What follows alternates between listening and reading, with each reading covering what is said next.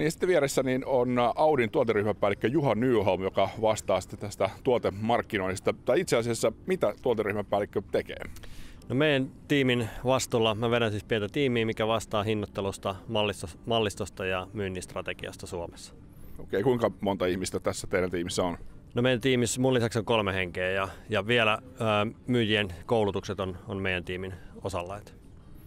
No mitenkä itse näet tämän Audi A4, uuden Audi A4, minkälainen tuote se on?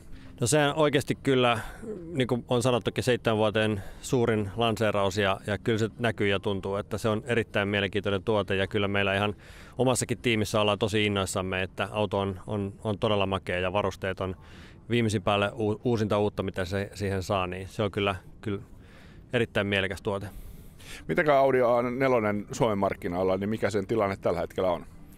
No nythän on tietysti ihan kuluneena vuotena, kun vanhan mallin alasajo on ollut käynnissä, niin, niin myyntikäyrät osoittaa alaspäin, mutta se on ollut kuitenkin vuodesta toiseen premium-luokan kärjessä omassa segmentissään ja, ja tota, on, on suomalaisten suuri suosikki.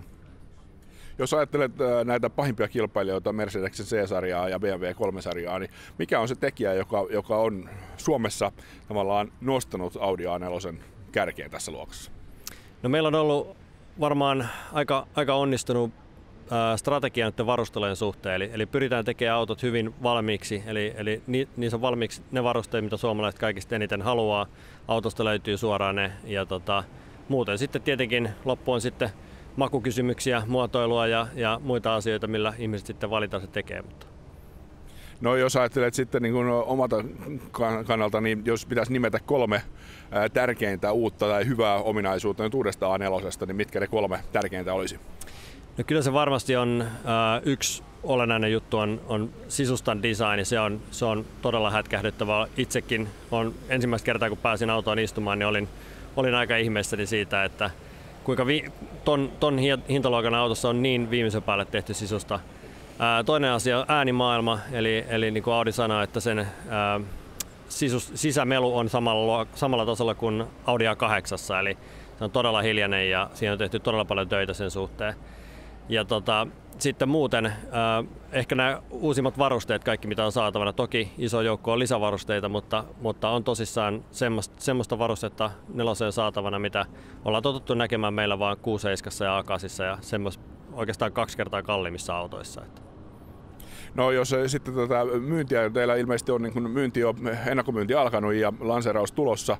Mikä on nyt tällä hetkellä se odotus siitä, että mikä versio tai, tai korimalli, kumpi farmari sedan myy enemmän tai eniten? No perinteisesti A4 sedanin ja farmarin osuudet on aika, aika lailla tasoissa, eli 50-50 luokkaa hyvin, hyvin lähellä toisiaan.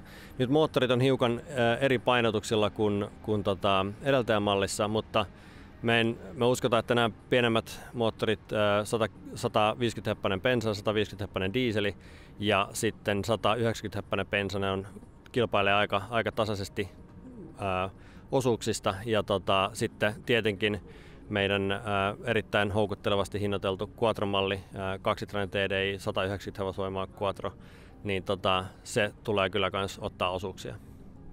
Ja sitten vielä loppuun kolme asiaa, minkä takia ihmisten kannattaisi nyt sitten, kun lanseraus on ja, ja autot liikkeisiin saapuu, niin mennä koeamaan uusi A4.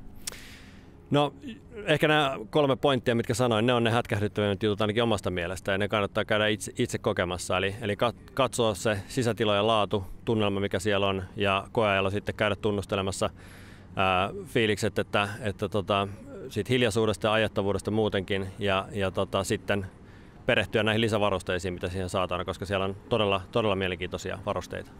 Vielä pakko näistä varusteista, niin mikä siellä itselläsi niin nousee kärkeen näistä lisävarusteista, hienoista uusista?